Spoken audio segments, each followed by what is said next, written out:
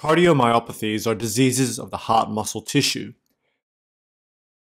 Cardiomyopathies represent a heterogeneous group of diseases that often lead to progressive heart failure, with significant morbidity and mortality. When talking about cardiomyopathies, we often focus on the ventricular heart muscles, the bottom two chambers of the heart. Remember, the heart is a muscular pump, which pumps blood all over our body. The cardiac muscle fibers, or cells, have a single nucleus they are branched and joined to one another by intercalated discs. The intercalated discs contain gap junctions. The intercalated discs and gap junctions form a syncytium of cardiac cells, allowing the heart to contract in a coordinated, unified manner. The desmosomes hold the fibers together when the heart contracts. And the actual contractile units of the cardiac muscles are the sarcomeres, which is made up of myosin and actin filaments. These two filaments slide past one another to cause a muscle contraction. What happens is that the sarcomere shortens during muscle contraction. This is called systole. Systole is when the ventricles contract and pumps blood out.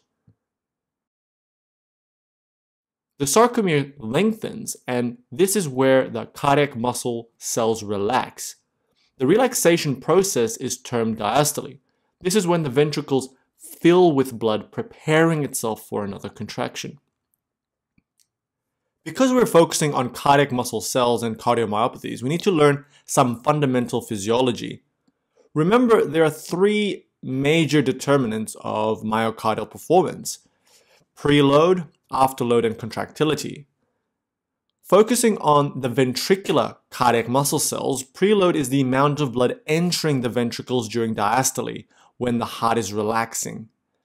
An increase in preload means a stronger contraction, and this relationship is the Frank-Starling relationship, which can be depicted with this graph here with di end diastolic volume on the x-axis, how much blood enters the ventricles, versus stroke volume, which is the volume of blood ejected by the heart with each uh, contraction.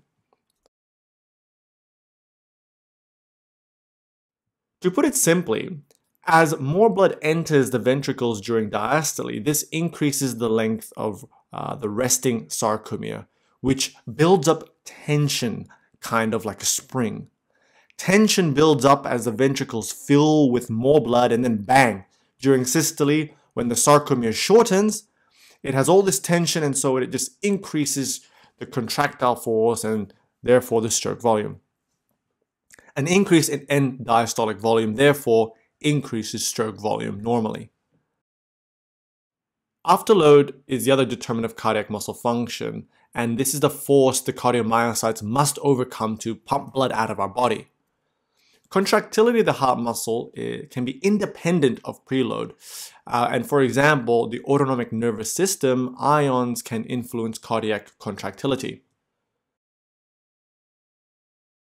To finish off this basic anatomy and physiology diagram, you know, troponin is attached to the structures here and is important and involved in muscle contraction.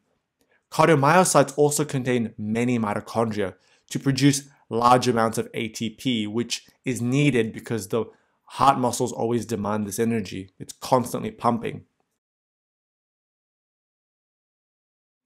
Cardiomyopathies, as mentioned, are diseases of the heart muscle, causing them to become abnormal enough to lead to heart impairment. And there are many types of cardiomyopathies, but they can be easily or neatly divided into five main types based on its anatomy and physiology. So firstly, the most common is dilated cardiomyopathy. As the name suggests, it is dilatation of the ventricles.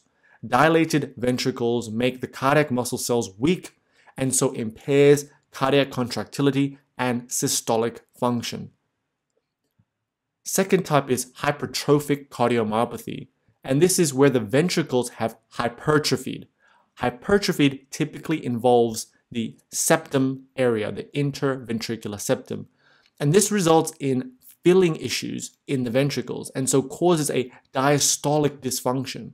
And is also an important cause of sudden cardiac death in young people. Restrictive cardiomyopathy is where the heart muscles become stiff, they're not elastic. They're characterized by infiltrative, non infiltrative, or storage diseases causing this restriction, this stiffness. Restriction of the ventricle means that the sarcomeres cannot really lengthen effectively, leading to diastolic problems, so filling problems. And this will obviously lead to reduced cardiac output. The ventricles build pressure in the atria, leading to dilated atria. The fourth type is one that uh, is not really well known about, but it's arrhythmogenic right ventricular cardiomyopathy. And this is a problem usually of the right ventricle, caused by mutation in the desmosome complexes. Um, the things, remember, that hold the cardiac muscle cells together.